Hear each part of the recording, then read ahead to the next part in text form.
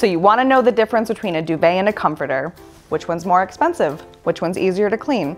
Well, you're in luck because today we're gonna settle that debate once and for all. But before we do, special thanks to Casper for sponsoring this video and providing us with this amazing duvet. All right, let's get started.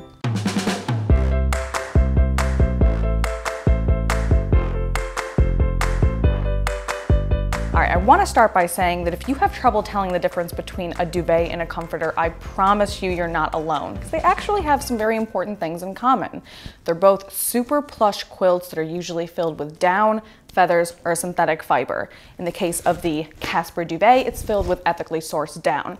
And both comforters and duvets usually feature a sewn-in pattern designed to keep the fill evenly distributed throughout the quilt. And there are some subtle differences that you might notice.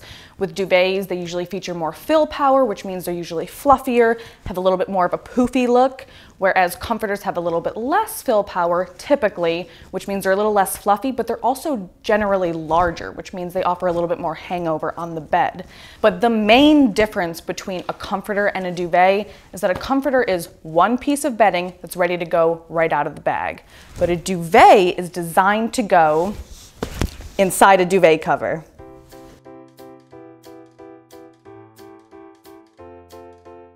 All right, so now that we know the main difference between these two bedding essentials, let's dive deeper into the details so that you can decide which might be the best fit for you, starting with the comforter. Now, something I love about the comforter is its simplicity. Like I said, it's one piece of bedding that's ready to go right out of the packaging. And while the one I have here is white, more often than not, comforters do come in different colors, pretty designs. So even without a decorative cover, uh, they're still decorative in their own right. Additionally, comforters are great for sleepers who like a layered look to their bed. So because they do tend to be a little less fluffy, they look great over a top sheet and under an additional blanket as well.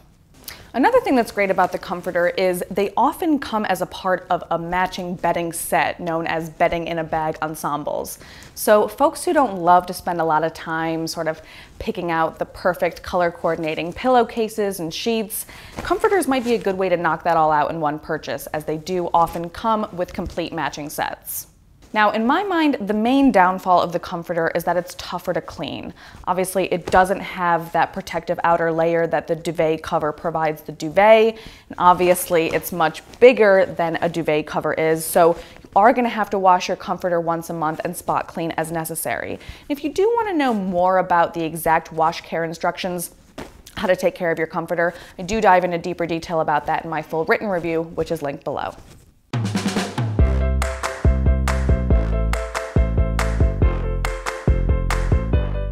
Now duvets, on the other hand, to me, one of the best things about them is it's super easy to switch up the style.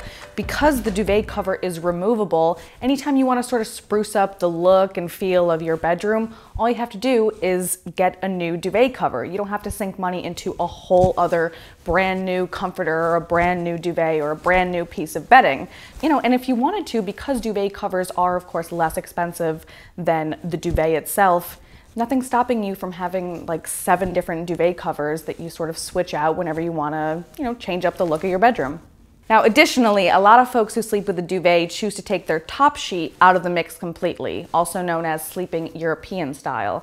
Now, of course, the removal of that one piece of bedding actually makes the bed making process a lot easier because instead of putting the top sheet on and then your duvet or comforter, you're just throwing your duvet on top of your mattress and calling it a night. Now, like I said, having the removable duvet cover just makes the duvet easier to wash. So you've got this protective outer layer that's keeping your duvet insert inside, nice and clean, protected from all the outside elements. And then when you want to wash your duvet cover, which you only need to do about once a month, just remove it and throw it in the washing machine with the rest of your bedding. Really simple. So what's not to love about a duvet? Well, getting the duvet insert inside of the duvet cover be a little bit challenging and it's certainly not as easy as just throwing one comforter on top of your mattress. Now with Casper's duvet and duvet cover, we're in luck because First of all, the duvet itself does have the sewn in quilted pattern that's keeping the fill evenly distributed within the duvet, but that's not always the case. Sometimes duvets don't have any of that sewn in quilt, and so the fill doesn't necessarily distribute evenly within the duvet.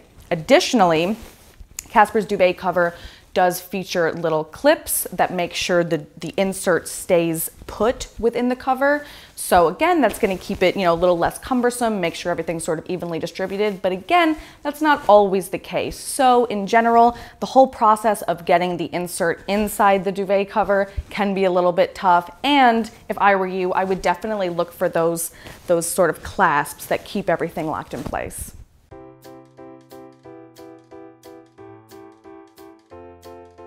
Well, there you have it. Those are the differences between a comforter and a duvet.